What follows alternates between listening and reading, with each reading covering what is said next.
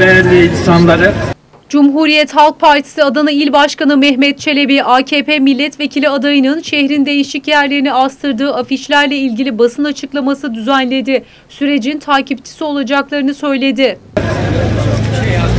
Bu Demokratik yollarla seçim kazanamayacağını gören iktidar partisi ve mensupları her gün farklı provokasyonlarla partimize ve genel başkanımıza alçakça saldırmaktadır.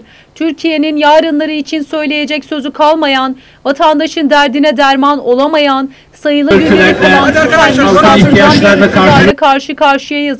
Siyasi nezaketten, ahlaktan ve vicdandan nasibini almamış müfteriler, yalan, iftira ve karalama kampanyası ile bu seçim sürecini kendilerine yakışır biçimde sürdürmeye devam etsinler.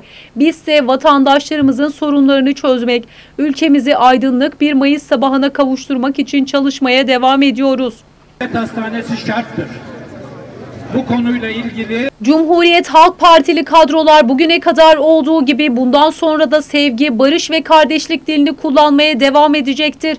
Öte yandan aynı kadrolar her türlü provokasyona ve saldırıya karşı tüm örgütle mücadele edecek ve bu faşizan baskıya asla boyun eğmeyecektir.